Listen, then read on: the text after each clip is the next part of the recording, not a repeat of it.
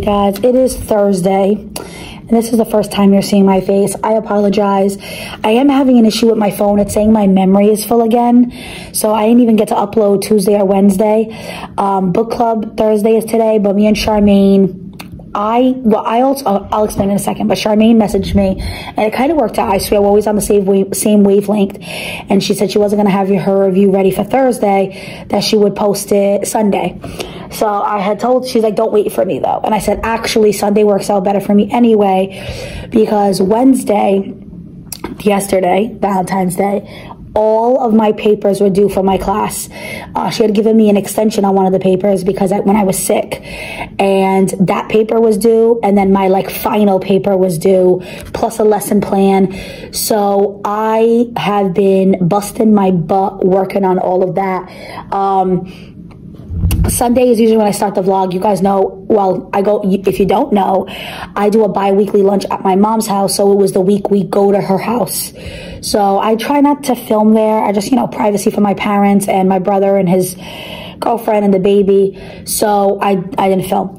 And then Monday, um, like I said, it was basically just work, got home from work, worked on homework all day. And then Tuesday was actually a snow day here. School was actually canceled, which really helped.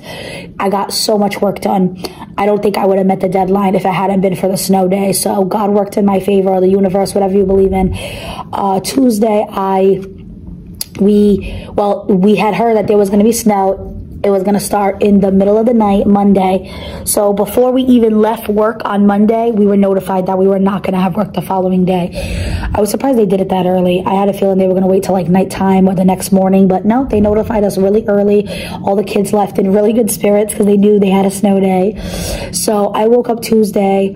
Thank God Joe's work was canceled. Sometimes I get nervous because he does drive for work, and sometimes big corporations do not give a shit and they will still try to make them work. There was a time I'll never forget there was a snowstorm and Joe went into work and they attempted to do deliveries because that's what he does. And I think by like 10 or 11, they gave up. They told him to just turn around and come back. And it was like, what was the point of that? They could have been safely in their house instead of do, dealing with all that. Um, I mean, I get that they need to make money, but they also need to think about people's lives. But anyway, so they had called him and told him he didn't have work either. And it would have been nice to have a cozy day at home. I was kind of jealous. One of the teachers that I talked to all the time or in a group chat, she was like, Oh, I have such fun plans for tomorrow. She went to the grocery store like right after work. She was like, I'm going to make my own homemade bagels and I'm going to do um, breakfast sandwiches. And I was like, and she's like, I'm going to do a movie night with my husband, movie day actually. And I'm like, Good for you. I'm going to be writing two papers. And that's literally what I did. Um, Joe was really helpful. He uh, made me lunch. He made me dinner, and I literally was just on my laptop the entire day.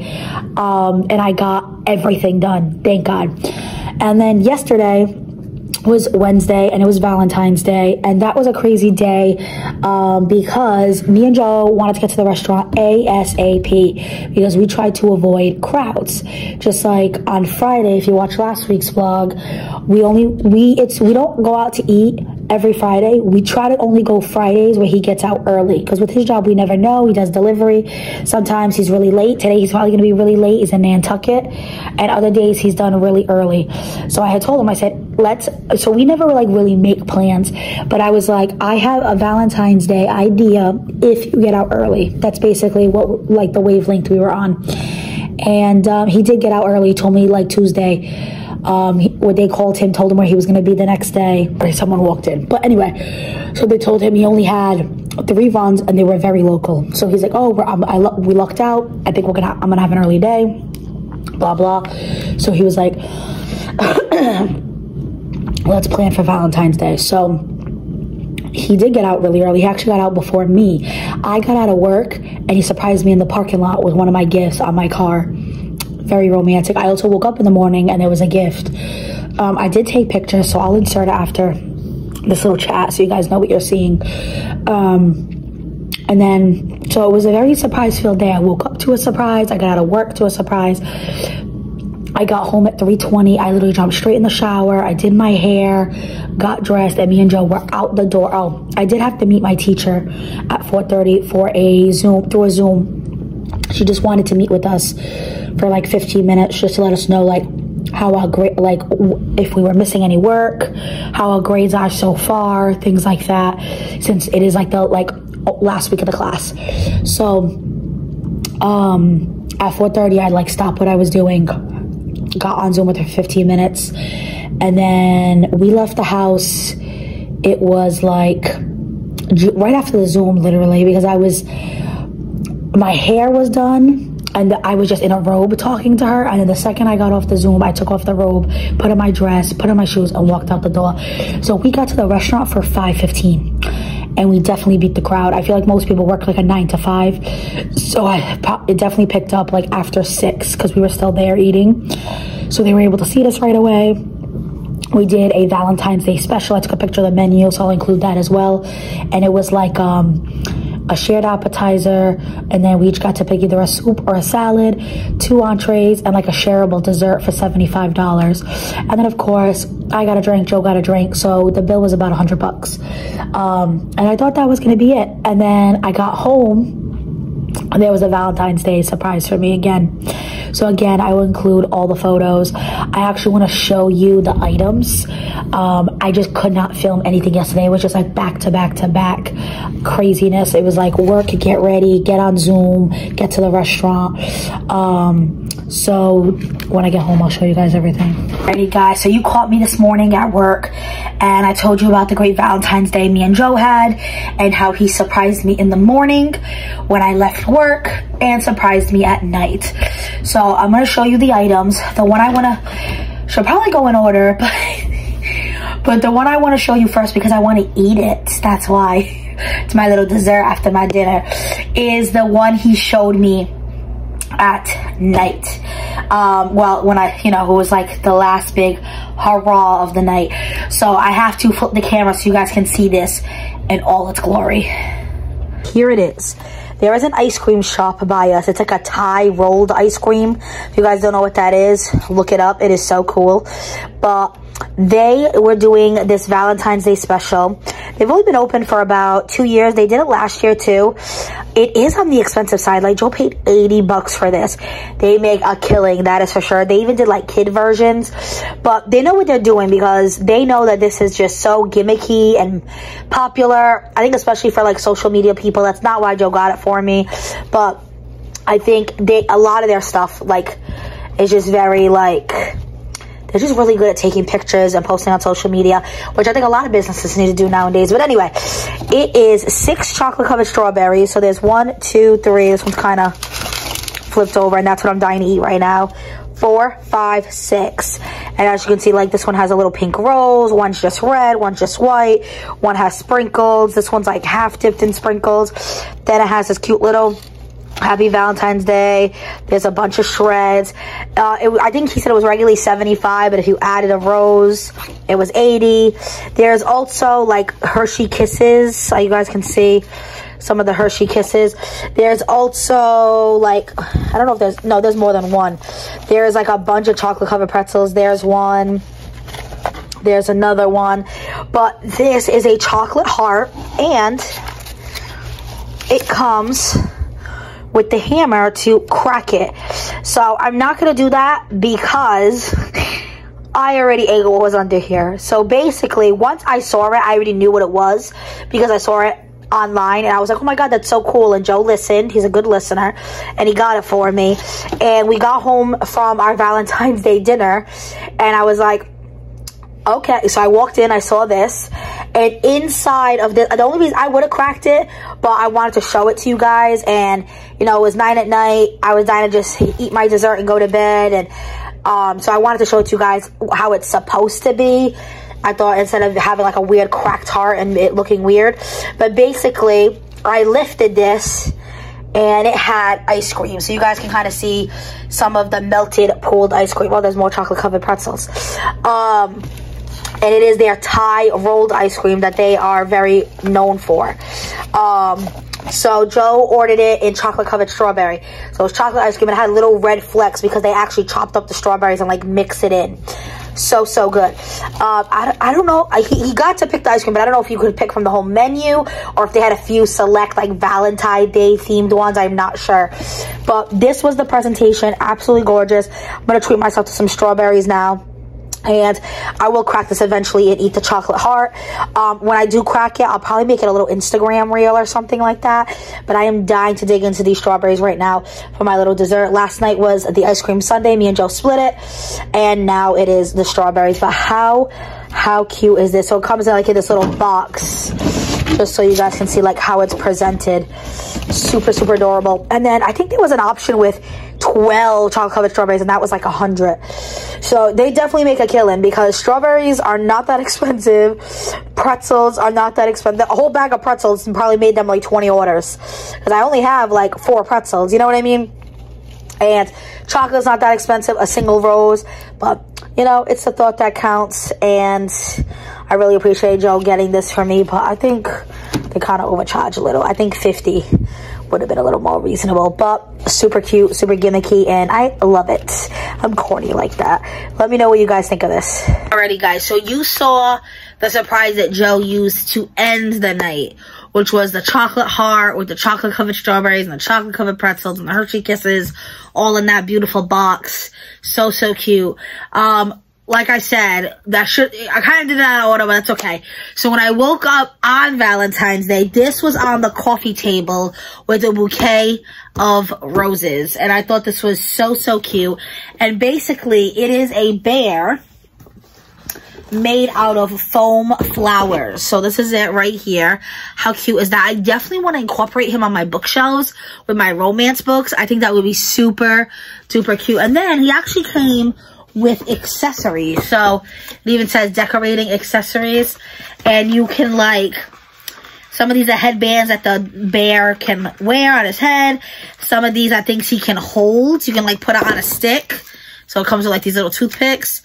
But how cute if you want to like dress him up for Valentine's Day. Kind of wish it came with like, like a, a Santa hat. Like, like all the different seasons. Oh, there's like a chat bubble. That's super cute.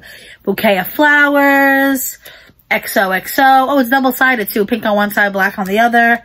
I love you. Oh, and then this love red on one side, pink on the other. This, I thought this was so, so cute. And Joe knows I love little things like this to put on my bookshelves. And the little bow says just for you. Super adorable. Waking up to this, a dozen roses. Went to work. And then, like I said, when I got out of work, he got out before me his car was parked on the side of me. He surprised me. And on my car was this. This was a special Barnes & Nobles was doing. It was a mystery blind date with a book. And they said it was for Galentine's. And you had to fill out a survey. So if you guys watch, actually I don't think it's up yet. I think it's going to be up the Monday after you watch this vlog, I am going to post a Barnes & Noble haul. And I'm going to show you guys everything I got at Barnes & Nobles. So that day, I couldn't pick up the book because this is like a Valentine's Day special. You had to pick it up on Valentine's Day. So Joe picked it up for me and paid for it because you couldn't pay for it till after, basically, because you don't know what book you're gonna get, so they don't know what to charge you. I filled this out that day and turned it in, and then I gave them a few days. I think I did this on like the 10th or 11th.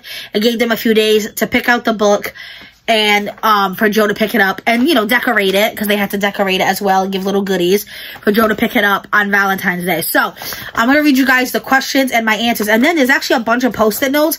So this must have been workers from Barnes & Nobles making suggestions. So I'm curious to see if one of these suggestions is what's wrapped. So it was a personalized recommendation questionnaire. And the first question is favorite books of all time. So I put, and this shouldn't be um, surprise to you guys because you know, guys, I've mentioned these books before. To be honest, I didn't put uh, my favorite um, series, which is um, I love The Good Girl's Guide to Murder, and I love One of Us is Lying, One of Us is Next, all that, because I was leaning more towards getting like a romance book versus like a thriller. So for my romance books, I put The Seven Husbands of Evelyn Hugo, Love Hypothesis. The Love Hypothesis is definitely one of my favorite romance. I had it right here on this table, but I think Joe put it away. And it's, I like it too because I find it very well rounded. There's only one smut scene in it. Not that I'm against smut, but sometimes when a book is all smut, I don't get into it. I think the smut scene was done very well. It's a good example of a smut scene done very well. First, it's like if you want to dip your toes into smut, try it out. Love Hypothesis is good for that. And it's good representation because it's a woman in STEM, which is science, technology, engineering, and math. And I absolutely love that. And I also put Fourth Wing because even though Fourth Wing is fantasy, there's definitely a romance angle to Fourth Wing. And I think that's why I liked Fourth Wing. I I do like fantasy if there's some romance dipped in there. And then for books you've hated, so I wouldn't necessarily say I hated these books, but I would say I disliked them. I think at the moment I was like okay with them, but then as time goes on, I was like, wow, those books really weren't that good in my opinion, because I know, so these are actually books we've read for a book club, and I know Charmaine really enjoyed them and some of you guys might have read them, and that was The Silent Patient and The Guest List. The Guest List I really, really struggled to get into. If I remember correctly, I believe I texted Charmaine that. Um, I was even like, oh, I might not be done in time for the video, but I did get done in time. I will say though, I did listen to it audio, so it might be different reading it as a physical book. I love audiobooks. But I find for a book that has a lot of detail, which the guest list did, the island was like its own character. She went a lot into like the island and the ocean and uh, there was uh, some twists and some turns. I think for books like that, physical is the best way to go. Cause with audio, sometimes it's easy to like kind of uh, what's the word? Tune out? I don't know if tune out's the right word, but it's easy to just get like distracted. Um, I find the romance books I'm reading right now, audio is like perfect. They don't require a lot of thought, but I find when it's like a thriller or something like that, you're very better off of reading it. So that might be because it was audiobook. If I read it again in book form, I might like it. But I actually know some people who were not a fan of the guest list. Um, they said, cause I think the Paris apartment was another one by the same author. Um, the, the, the author is not coming to me. It's like Lucy something, I think. Um, no, it might not even be Lucy. I don't know, really it's coming to me right now. But some people were like, oh, I didn't like the guest list, but I loved the Paris apartment. Or some people were like, if you didn't like the guest list, don't bother with the Paris apartment. It's the same style. So I don't know. The Silent Patient, I liked the book, but like when I see so many people hype it up, I see it all over Bookstagram, or even now, years later, I don't see the, I think there's so many other better psychological thrillers out there that I think The Silent Patient was a letdown for me. And I think that's because it was so hyped up. The book itself isn't bad. If I, I think if it hadn't been so hyped up, I would have enjoyed it. But because people were like, putting it on a pedestal saying it was a 10, it made me expect so much more, if that makes sense. So I put those down as books I hated. And then favorite books or TV show. So I put a bunch here. I put A Walk to Remember. It's one of my favorite Nicholas Sparks movies. I put Friends, Gilmore Girls, Golden Girls. Those are like my three classic older TV shows that I love. And then newer TV shows that they're newer, but they just went off the air is This Is Us and A Million Little Things. I loved those. I love Mandy Moore. I love Milo Ventimiglia. Oh my, and A Million Little Things was incredible. I never cried so much for a show, but those just both ended recently. I believe they're on Hulu and Netflix. If you guys haven't seen them, I want to check them out. And for my other favorite movie, I put The Wedding Planner. Um, that false proximity, you know, that's why I love romance. Um, and then it says, please list your favorite genres. So I put some fantasy if romance is mixed in and contemporary romance. So that's definitely my favorite. And then I put, and then it says, do you like BookTok recommendations? And I put yes, for sure. I said my favorites are Emily Henry, Christina Lauren, uh, Colleen Hoover, and Ali Hazelwood. And then fave tropes or elements in a book. I put like all the romance, not all the romance tropes, because definitely some I'm not a huge fan of. But I put small town, second chance. I love fake dating. I love friends to lovers. Some fantasy, I put some fantasy romance is mixed in and vampire romance. Um, I'm dipping my toes into that. I bought a book recently. You guys have seen the Barnes & Noble haul. But it definitely, like, you know, I, I loved Vampire Diaries. I loved Twilight. So I want to get back into my vampire romance. And then it says the first place you go to when you walk into Barnes & Noble. And I literally put the BookTok section because they literally have a whole section on what's popular on BookTok or Bookstagram. And then contemporary romance because that is truly my favorite. And then there's a little column here a little table, I should say, where you fill it out. And it says, I would like to be given trigger warnings. And then you have between strongly agree and strongly disagree. And in the middle is agree, disagree, and neutral. So I put agree. It's not something I strongly like, yes, I need trigger warnings, but I would like some trigger warnings, you know, depending on the, what's in the book, you know one thing, like I hate reading about incest.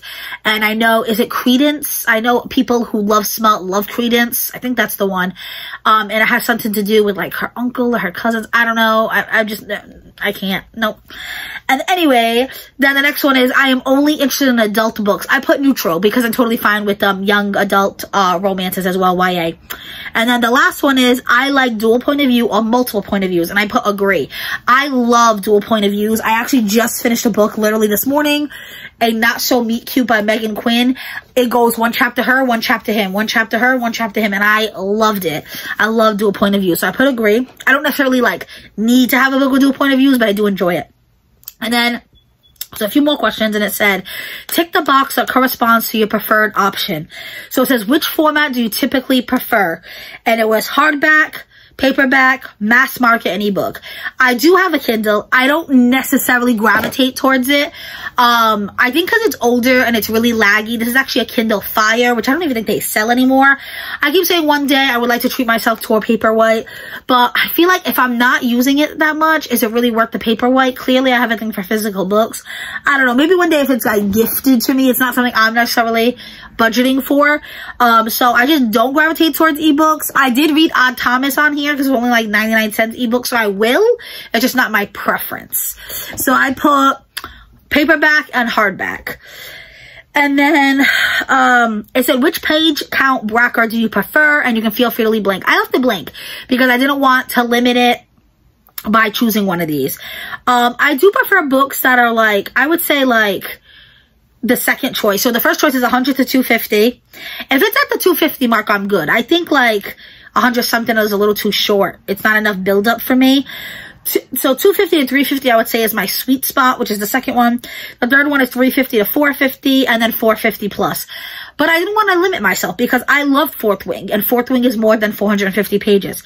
Also, this book is over 400 pages and I loved actually like literally just over. I think it's like 40 me see because it's not obviously it's not huge it's not super thick it's 408 um so i didn't want to limit my um options with that so i just left it blank.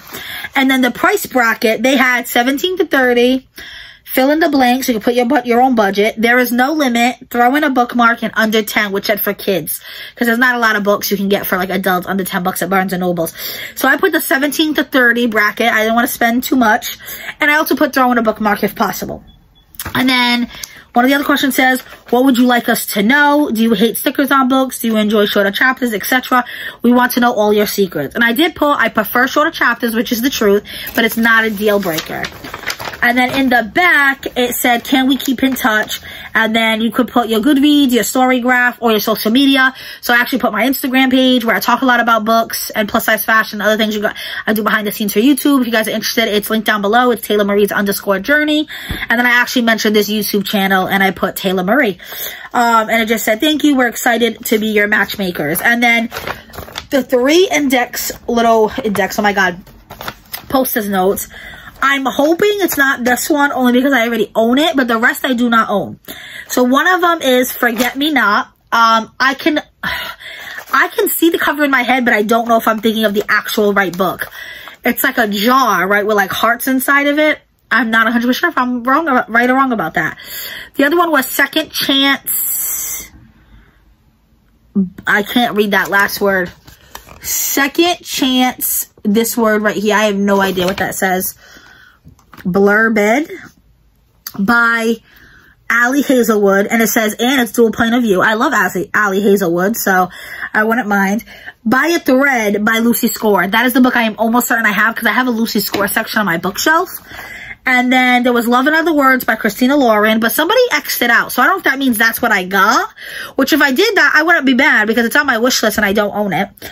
And then The Simple Wild, which I feel like I've seen the cover of that as well. So, this is what I got.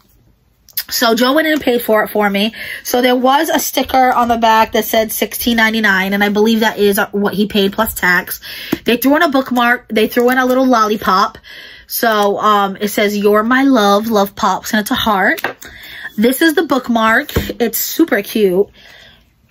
It says it's $5.99. So for Joe to pay $16.99 and it's the book and the bookmark. Not bad. He might have paid more. Actually, now that I think about it, I think he said he paid close to 30 Joe, this is the bookmark. How much did you pay for the blind date with the book from Barnes & Nobles? It is a very, very, very thick cardboard. Do you remember? How much did you pay for this blind date with the book? Because the book says $16.99, but then the bookmark says $5.99. 24. 24. 25, maybe 28. Then it came with this really, really cute envelope that has a wax stamp. So let's open this and see what's in here. I am very curious. And the heart stamp is a cute little. I mean, the heart stamp. The wax stamp is a heart. That is so cute.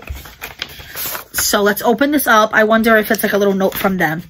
Hi, Taylor. We chose your blind date because it's a second chance contemporary romance with dual point of view. It's also blurbed on the cover. Oh, is that what they mean? Second Chance blurbed by Ali Hazelwood. It's also blurbed on the cover by Ali Hazelwood, and we know you love those books. Here are some other recs. So it says right here, The Simple Wild. We think you would like this if you like Colleen Hoover and Christina Lauren. Pretend You're Mine, fake dating, small town, contemporary romance. Thank you so much for trusting us to choose your blind date. We hope you love at least one of these. Let us know how we did. Love the Barnes & Noble staff. That is really cute. So this is how I got it. So it says second chance, dual point of view, rom-com. Again, a bunch of cute wax seals, a bunch of cute little gems. Um, I have been talking about wanting to start a book journal. I actually just organized my craft cart. I'm super excited about, so I might try to hold on to some of these. See if I can salvage them. Like, I would totally love this. And I love that it's like 3D and pops out. Let's unwrap the book. You ready? So I'm going to unwrap it this way so you guys even see it before I do.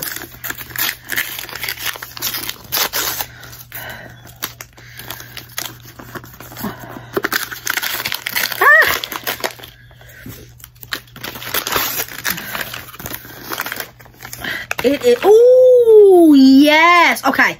So it is not the book I was thinking of, but I have seen this. So it was one of the ones on the post-it note. And my girl, you guys know I talk about it a lot, Brittany from Gigi and Bo, posted about this book. And if I remember correctly, she really, really enjoyed it and loved it. And it is blurbed right here by Ali Hazelwood. It says, Julie Soto is my favorite writer, period. I will read anything she writes and love every second of it. And I've never read any of her books. I love the illustration. Super curious to try out a new author.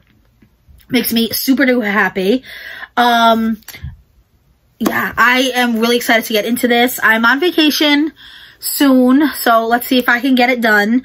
But um, it said, oh, and it, says a wedding planner, because I know I love the wedding planner.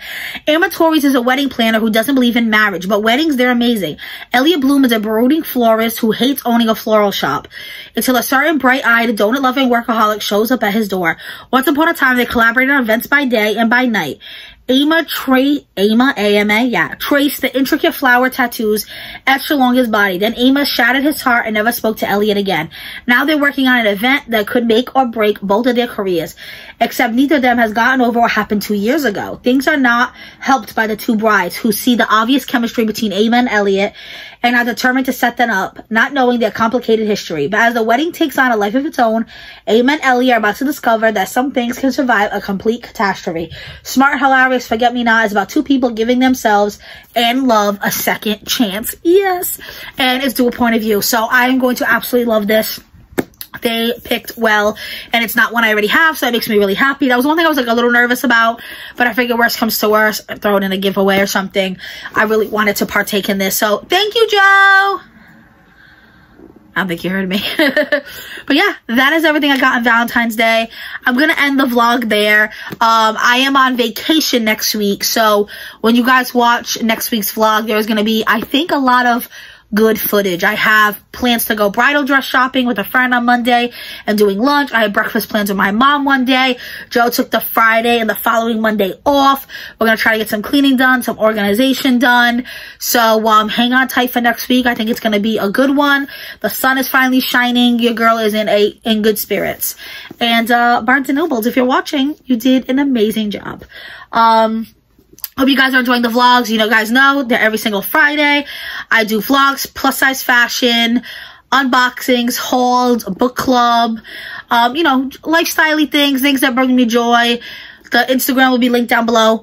Also, I am now a Gigi and Bo influencer, which means I have a code for you guys. So if you guys love stunning bookmarks, in my opinion, her bookmarks are better than the one I just got from Barnes & Noble. And the same price, if not cheaper. If you don't get laminated, her bookmarks are five bucks. If you get laminated, they're six. This was six. And it's not even laminated. It's nice and thick. Like, I'm not complaining. But this bow's so short. She has like nice long tassels. You can get no tassel, tassel, laminated, not laminated.